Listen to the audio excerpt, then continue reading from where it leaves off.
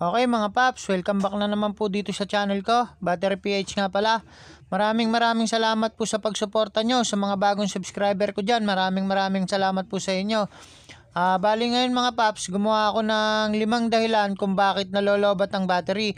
Kasi mga paps, dito sa shop ko, halos pare-parehas lang yung nagiging dahilan o paulit-ulit lang na kung bakit nalobat yung battery nila, ganyan. Baka po kasi ganun din ang nangyari sa battery nyo. Panoorin nyo po ang video na ito at para malaman nyo kung ano ang mga pwedeng gawin sa bateryang nalobat o nadiskarga. Tara mga paps, simulan na natin ang video na ito. Let's go!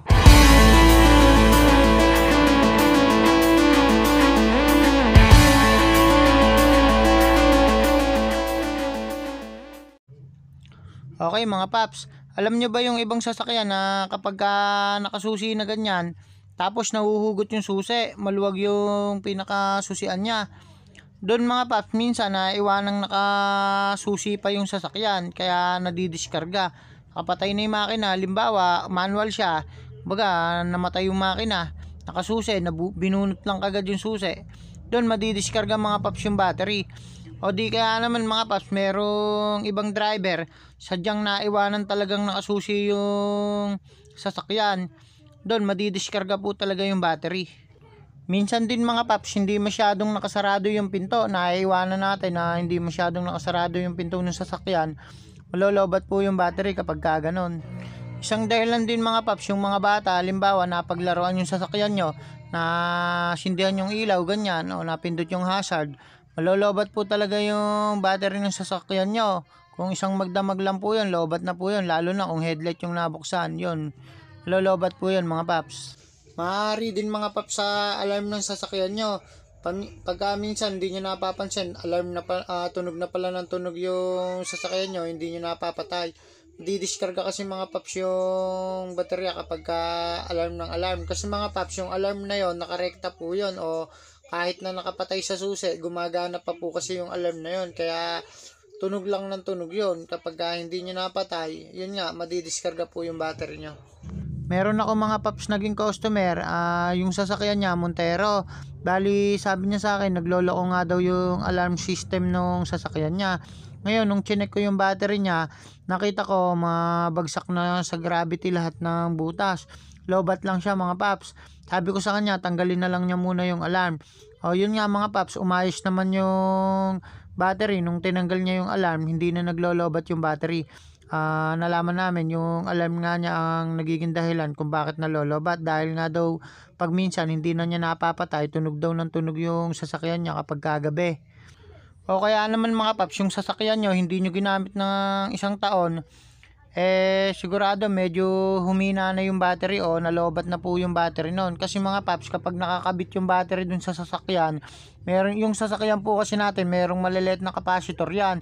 Dinadaluyan po ng kuryente ng battery yon kaya kapag ka medyo matagal nyo pong hindi ginagamit yung sasakyan nyo pansinin nyo po medyo mahina po yung pag start nya ngayon, kapag umandar naman na po, napapansin nyo na mga dalawang oras nyo nang ginamit, ganyan, bumiyahe na po kayo, tapos pinatay nyo.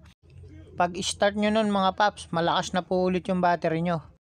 Okay na po ulit yung battery, kasi mga paps, nag-charge na yun sa alternator. Kaya mga paps, kapag i-stack nyo ng isang taon yung sasakyan nyo, at di nyo naman gagamitin, alisin nyo na lang po yung pagkakakabit para hindi siya ma-discharge. Yung iba, ang ginagawang diskate, kung mga madalang gamitin yung sasakyan o hindi talaga nagagamit, ini-start na lang nila sa umaga o paminsan-minsan start nila ah, 30 minutes o 15 minutes naka-start yung makina para mag-charge sa alternator ah, at uminit yung makina. Yon, hindi ko lang alam mga paps kung effective yon. Okay mga paps, pag-usapan naman natin yung mga grounded na sasakyan. Bali mga paps, meron akong share sa inyo, meron akong naging customer dito na bumili sa akin ng battery. Ah, ang sasakyan niya Toyota Vios. Ngayon, si sir, ah, sinabi ko sa kanya, dali niya. Palagi ko naman mga paps sinasabi na kapag ka naikabit niyo na po ako sir yung battery na yan, dali nyo po dito yung sasakyan nyo para ma-check natin yung alternator kung maayos bang magkarga. Ah, check na rin natin sir kung may grounded. Ah, ngayon si sir, hindi po siya bumalik. Siguro tiwala na siya na wala namang problema yung kanyang sasakyan na baterya talaga sira. Pero mga paps, makalipas yung ilang araw, bumalik sa akin si sir, dala-dala yung battery binili niya. Sabi niya sa akin, Boss, pakitingnan mo nga itong battery binili ko sa'yo. Ayaw mag-start ng kotse ko eh. pagkatapos kong i-check yung battery, nakita ko okay naman. Kaya sabi ko kay sir, Sir, okay naman po yung battery nyo. Ah, nalobat lang po yan. I-charge lang po natin yung mabuti. Kaya nga lang po, medyo matagal i-charge yan. Bukas nyo na po ako balikan. Ah, papahiramin ko na lang po muna ako kayo ng pampaservice. Dito kasi sa akin mga paps, kapag ah, may problemang ganyan, o kaya halimbawang nagpapawaranty ng battery, medyo matagal po kasing magpapalit ng battery o magpapawaranty. Kaya ginagawa ko, pinapahiram ko po muna sila ng battery ko para yung sasakyan nila eh magamit nila. So yun na nga mga paps, ah, bali full charge na yung battery. Ngayon, sabi ko kay sir, dali nyo po dito yung sasakyan para makita natin kung ano problema. Pagdating dito, chinek ko yung alternator. Okay naman mga paps yung alternator. Good charging naman. Ngayon, sabi ko sir, patayin nyo po muna. Tingnan natin kung grounded. So yun nga mga paps, grounded yung kanyang sasakyan. Ah, sabi ko sa kanya, sir, pa-check up nyo po ako sa electrical yan. Sa mga nag-electrical kung saan nagmumula yung grounded niyan. Kasi yan po kako, ilaw po kako yung test light na yan.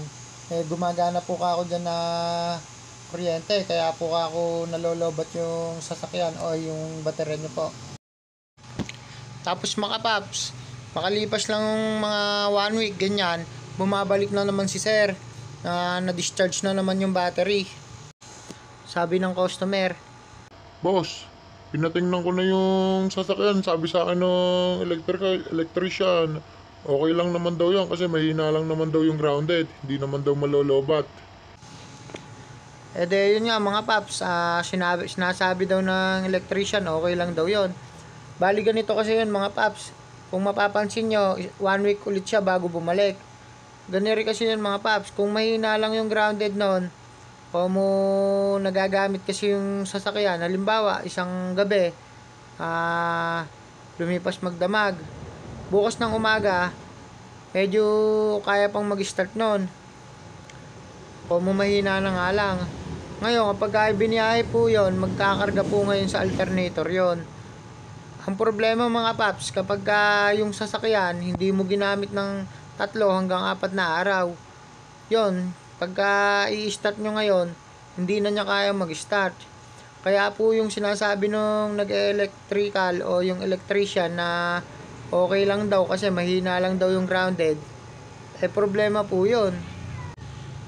Kasi kahit na mahina lang yung grounded na yon, ang pinag-uusapan dito, grounded yung sasakyan. Kaya talagang malolobat yung baterya. Sabi ko sa customer ko, pa-check up niya sa ibang electrician para maigawa, magawa na. Kasi baka ayaw lang gawin ng electrician na kausap niya. Alam nyo kasi mga paps, kapag ka mga grounded na ganyan, napakahirap po talagang hanapin yan kung saan nagmumula. Napakaraming wirings na dapat i-check dyan. Kaya yung ibang mga nag-electrician, hindi na lang ginagawa. Ah, kagaya nga nung sinabi, okay lang daw po. Pero mali po yun. Pagkatapos nun mga paps, bumalik ulit sa akin si customer. Ah, pinatingnan naman din daw niya sa ibang electrician. Talaga naman daw pong grounded. Kaya nga lang, hindi daw kasi makita yung problema. Ngayon, eh, papacharge na naman niya sa akin yung battery. Sabi ko sa kanya, Sir, yung baterya po na yan, ah, masisira po talaga yan kapag ka nalolobat ng husto tapos papacharge nyo. Pagka po ako palaging ganon, masisira po yung battery, kagad po yung masisira. Ang ginawa ko mga paps, sabi ko sa kanya kapag ah, hindi niya gagamitin yung sasakyan niya, tanggalin na lang po niya yung pagkakakabit para o yung sa may polo po ba para hindi na mag-grounded, walang kuryenteng dumaloy. Ngayon, pagka gagamitin na lang niya yung sasakyan, tsaka niya ikakabit sa battery. Buhat nun mga paps, hindi na bumalik yung customer ko na yon. na siguro naging okay na rin. Ah, ganun na lang ang palagi ginagawa niya. Eto mga paps number 3 natin, starter naman ang may problema. Ang nangyayari kasi mga paps sa battery, kung mga halimbawa, yung sasakyan nyo po sira starter, kinabitan nyo ngayon ng bagong baterya, in-start nyo, ayaw mandar. Pangalawang subok, ayaw mandar. Pangatlo, pangapat, hanggang makabenting subok na kayo, ayaw pa rin umandar. Yung baterya nyo po, pahinana na po ng pahina yun. Kasi ang baterya po, dapat sa una, pangalawang load pa lang na ganyan, malakas na po dapat yon. Ah, ibig ko pong sabihin, umandar na po dapat yung sasakyan nyo. Kaya po yung baterya, nalolobat, kasusubok nyo pong paandar yung sasakyan. Meron din po akong naging customer, ah, bumili siya sa akin ng bagong battery. Ngayon, pagkakabit na ganyan, ayaw pong umandar nung sasakyan. Maraming beses na ini-start. Baka hindi lang po 20 beses eh. Ang dami na pong beses. Mabilis pong umikot yung starter. Wala pong problema sa starter. Ang problema po pala nun, yung fuel pump. Parang yung gasolina niya may tubig. Kaya ayaw umandar nung sasakyan niya. Ngayon, malolobat po talaga yung battery kaka-start mo. Kaya yon ang dahilan, starter din. Hindi po ko mo bakit ayaw umandar ng sasakyan, eh battery na kagad, mahina. Hindi po mahina yung battery. Nakita nyo naman po, kung mapapansin nyo, pag start nyo, ang lakas ng bugso ng kuryente. Ngayon, meron ibang sasakyan, pagka salpak pa lang ng battery, wala na kagad reaksyon. Kumbaga, pagka start mong ganyan, walang nangyayari. Starter din po yun, ang problema nun. Hindi po ko mo ayaw umandar ng sasakyan, baterya na po kagad. Okay? Alright.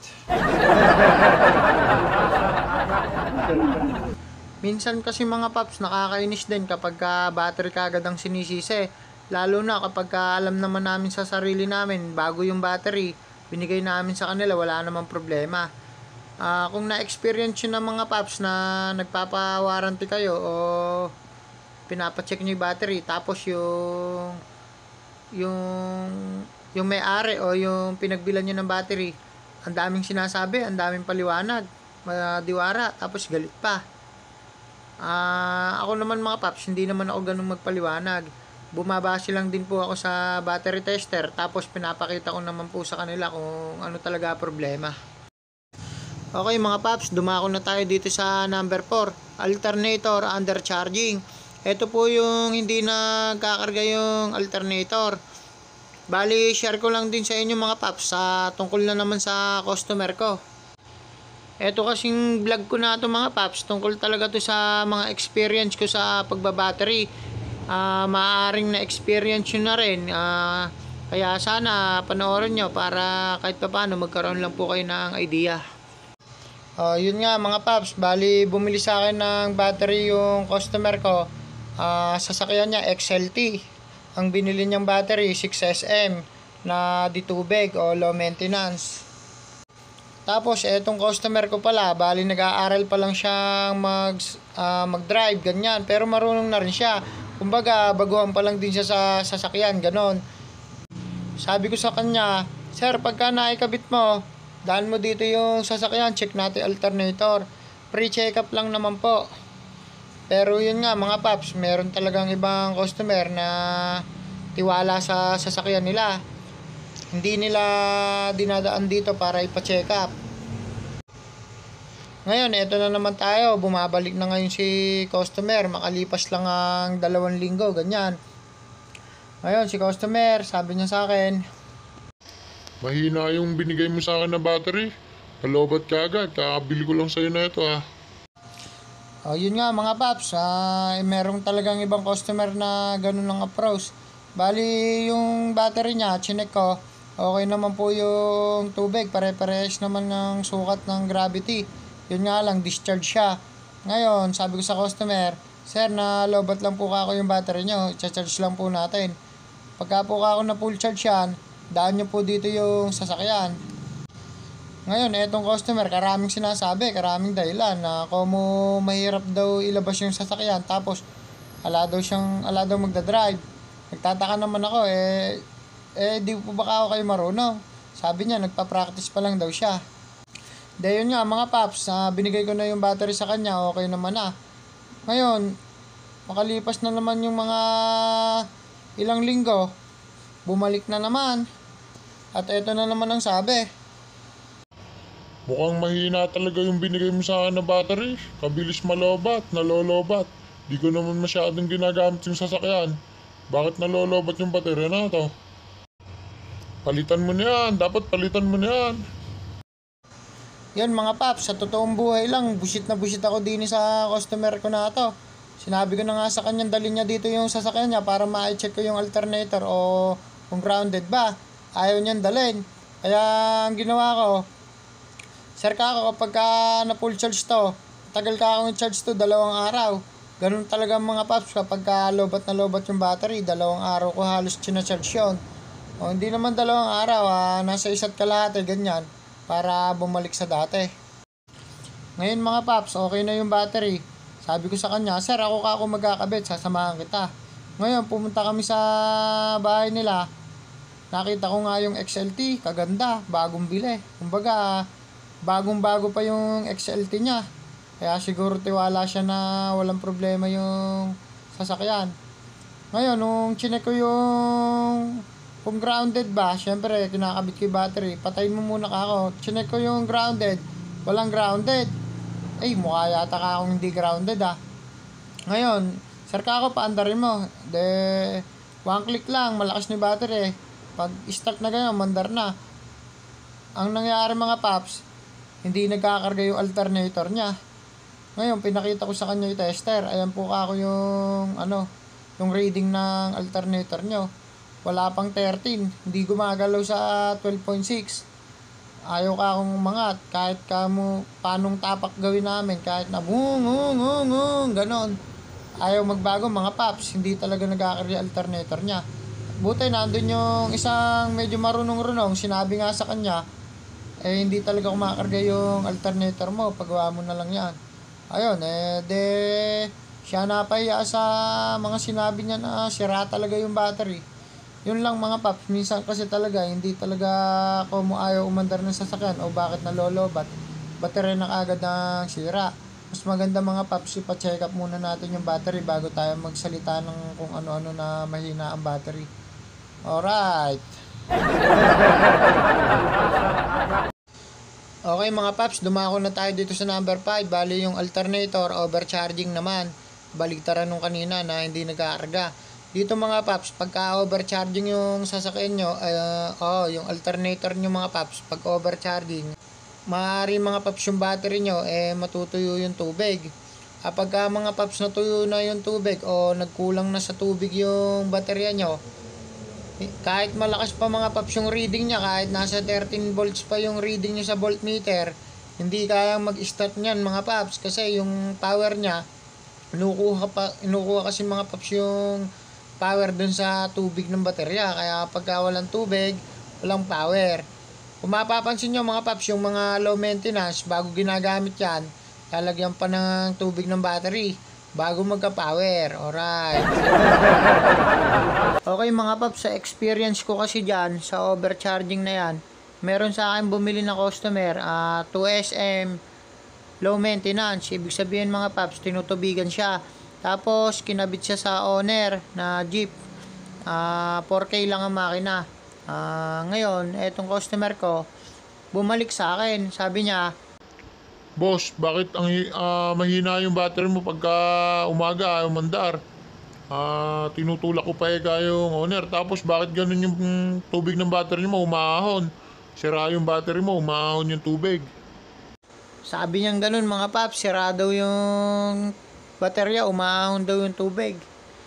Mga paps, hindi po aahon yung tubig noon. Normal lang po na medyo nag evaporate po yung tubig niya sa loob, komo nga kumukulo. Pero yung umaahon na mabilis niyang ahon, yun po, malamang sa overcharge ka ako yan. Chinek ko nga ngayon mga paps yung alternator, overcharge. Tiningnan ko yung yung baterya, wala nang tubig.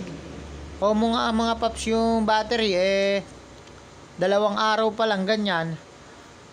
Ah, naremedyohan ko pa siya. Sinalinan ko lang siya ng battery solution na puro ulit. Tapos pinagawa niya yung alternator niya. Ah, ngayon, okay na ulit. Wala nang problema. Di naman nasira yung battery. Kung sakali kasing nasira yung battery, hindi po sakop ng warranty yon dahil overcharging. Hindi na po papalitan yon. Okay, mga paps, maraming maraming salamat ulit sa panonood nyo. Sana ay nakatulong po ang video na ito kahit papano. At kung bago ka pa lang dito sa aking channel, ako po ay gumagawa ng mga video content tungkol sa battery ng mga sasakyan. Ah, mag-subscribe ka na, tapos pindutin mo na yung notification bell para updated ka kapag ka nag-upload ako ng bagong video. Alright mga paps, ingat kayo. Maraming maraming salamat. God bless.